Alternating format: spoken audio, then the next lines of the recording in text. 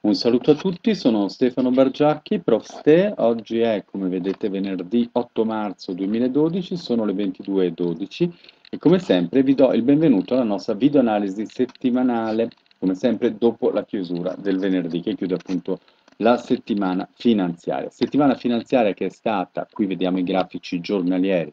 sicuramente molto molto interessante e che ha concluso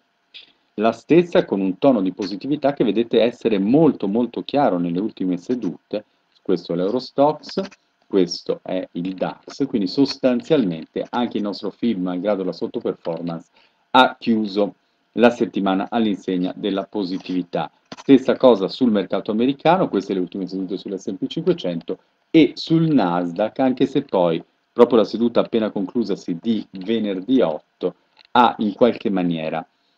di nuovo destato qualche dubbio, ma di questo parleremo tra un attimo. Attenendoci strettamente a quelli che sono i fatti, ripeto e di nuovo, la settimana si è chiusa positivamente, positività confermata anche dal fatto che, lo vediamo qui, l'Eurostox proprio nella giornata conclusiva della settimana di venerdì 8 marzo ha rotto al rialzo l'area di congestione che ben avevamo indicato anche settimana scorsa, è aggiornato rispetto alle ultime eh, movimentazioni avvenute appunto nei due sensi. Ecco, dicevo, rispetto a quell'area di congestione, vediamo che eh, l'indice Eurostox, il future Eurostox, si è proprio da poco, nella giornata di venerdì, nella giornata di oggi, allineato al DAX che aveva nei giorni precedenti già rotto al rialzo la congestione stessa. Quindi c'è una conferma e attenendoci ai fatti, di nuovo, questo è quello che è avvenuto. Come sempre, discorso a parte per il FIB, la situazione politica in Italia continua a predominare la scena e quindi di nuovo conviene tenerlo un pochino in secondo piano. Tra l'altro, proprio oggi, interessante notare che il FIB è riuscito con fatica, chi ha seguito in intraday tramite Facebook eh, sa bene come si sia parlato di questa cosa, appunto chiuso il gap che da febbraio, l'ampio gap ribassista post elettorale che era rimasto aperto appunto dal mese di febbraio. Ora vediamo un pochino più in dettaglio quello che è accaduto. Allora, la prima cosa, il primo elemento, e parlo a chi ha vissuto queste giornate come me in intraday, è che comunque in nessuna di queste giornate si è vista una forte spinta rialzista, perdonatemi, una forte spinta rialzista che è poi confermata anche dal fatto, io non amo le candele giapponesi, ma giusto per comprendere, o meglio non uso le candele giapponesi, almeno dal punto di vista tecnico, ecco dicevo però almeno per comprendere si nota come queste shadow che sono appunto in alto a ciascuna delle barre giornaliere mostrano come comunque non ci sia mai stata realmente una giornata completamente positiva e sappiamo bene come la vera positività è di solito confermata da un'ampia barra direzionale con una chiusura in prossimità dei massimi. Quindi questo non è mai avvenuto anche nella giornata appena conclusa, se appunto di venerdì, e un po' in tutte le giornate che hanno caratterizzato la settimana. Questo è il primo elemento importante. Il secondo è purtroppo dico perché sarebbe molto bello avere qualche dubbio in meno sulla positività che i mercati hanno mostrato, il gap che, e lo ripeto purtroppo, nella giornata di mercoledì 6 per pochissimi tick è rimasto aperto sia sull'Eurostox sia sul DAX, gap che, lo vedete, è pienamente all'interno della congestione. Vediamo perché, anche di questo ne abbiamo parlato su Facebook, quindi chiarisco per tutti, il minimo del giorno 6 è a 2673, mentre la chiusura del giorno precedente, cioè del 5 marzo, è a 2671. Quindi per quanto riguarda l'Eurostox, questo gap in congestione è purtroppo rimasto aperto per soli due tick. Andiamo a vedere sul DAX analogamente, eccolo qui. Allora abbiamo il giorno 6, minimo a 7851, livello chiusura della giornata precedente del 5 marzo, 7841, quindi qui per 10 punti un pochino più ampio, ma anche lui, lo vediamo pienamente ancora in congestione, è purtroppo rimasto aperto. Dico purtroppo perché insieme a quell'incertezza che appunto abbiamo cercato di sintetizzare tramite le shadow di queste ultime candele giornaliere, ma ancora meglio tramite quella mancanza di forte spinta che anche in intraday abbiamo osservato e quei ritracciamenti appunto che hanno portato poi le diverse giornate comunque positive a chiudere non sui massimi come invece accade nelle giornate direzionali fortemente momentum. Ecco, dicevo, questa incertezza osservata in intraday unita a quel gap aperto in congestione ci fa purtroppo ancora dubitare un pochino di questo rialzo. Quindi ancora è molta cautela. Il FIB, che dicevo è un pochino indietro, lo capiamo bene perché lo stesso livello che, parte, che corrisponde alla parte alta della congestione, che però sul FIB era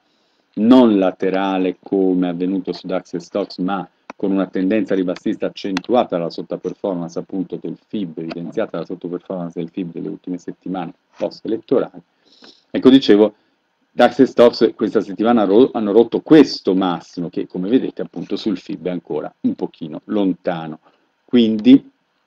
ferma restando la peculiarità della situazione italiana per il problema politico, è ovvio che un riallineamento del FIB che dovrà, se vera positività è, superare a sua volta questo massimo,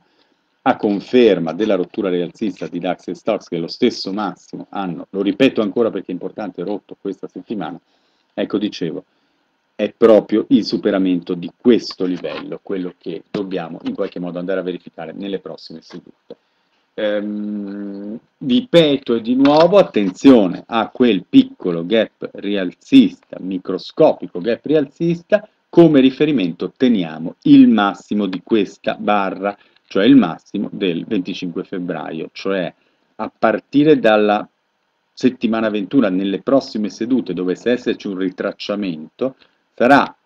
per confermare il quadro rialzista, ovviamente importante che non venga penetrato questo massimo e ovviamente conseguentemente anche sul DAX questo massimo, cioè lo stesso massimo del giorno 25 febbraio. Quindi un eventuale ritracciamento sarebbe anche in qualche maniera salutare, però teniamo ben presente questo massimo perché non va penetrato in maniera confermata da DAX e stocks per mantenere e confermare la positività vista fino ad oggi, vista in questa settimana che appunto si è appena conclusa. Una penetrazione di questo massimo ovviamente riporterebbe DAX e stocks all'interno della stessa congestione e a quel punto dovremmo eventualmente andare a verificare se e come quel piccolo gap microscopico dovesse chiudersi. Quindi teniamo anche presente un possibile rientro in congestione con chiusura del gap per poi ripartire verso l'alto e rompere per la seconda volta, e sappiamo bene da metodo prof. Quanto questo sia sicuramente altrettanto, se non più significativo della prima rottura confermata appena osservata, dicevo rompere per la seconda volta la congestione al rialzo con una conferma che a quel punto sarebbe certamente più forte. E magari, aggiungo anche col FIB, che a quel punto avrebbe raggiunto e superato quel massimo che è ancora un pochino lontano per l'indice italiano. Altro elemento importante, è vero che alla positività degli azionari, lo vediamo, è corrisposta sostanzialmente una discesa del Bund, ma in particolare nella giornata di venerdì, appunto 8 marzo, appena conclusasi, abbiamo visto la mattina indici azionari, parlo degli intraday positivi, e un Bund che saliva anche lui. Poi c'è stato un riallineamento del Bund che invece ha iniziato a scendere, questo ha portato gli azionari a proseguire e a confermare la positività della giornata, però sul finire, lo vediamo, e se volete andiamo a osservarlo un attimo anche in intraday, c'è stato un pochino di ritracciamento del Bund avvenuto appunto nel pomeriggio. Quindi anche qui, se di vera positività si tratta, sarà importante vedere il Bund anche lui proseguire al ribasso e non avere quei ritracciamenti verso l'alto che vorrebbero, almeno in linea teorica, perché poi come sempre sappiamo che non è detto, gli azionari sulle salite del Bund scendere. Quindi altro elemento di cautela sicuramente importante. Altro elemento di cautela sicuramente importante, un Nasdaq che lo vediamo ha concluso una giornata all'insegna comunque sì di una positività, ma con una positività nominale, ma una incertezza, se volete, sicuramente marcata, e invece un S&P 500 che ha di nuovo fatto segnare massimi storici, come sta avvenendo ed è avvenuto per quasi tutta la settimana che si è conclusa. Quindi ancora di nuovo una piccola divergenza sul mercato americano, sicuramente da tenere presente e che ci fa ancora usare tanta cautela nell'approcciare la situazione europea che rimane assolutamente e ancora purtroppo compromessa e da risolvere. Quindi le tematiche sono sicuramente molte, interessanti, intricate, ma anche molto semplici da seguire, perché sostanzialmente il massimo del giorno 25 fa un po' per tutti gli indici da riferimento, anche per il nostro film, anche se lo stesso massimo è ancora un pochino lontano.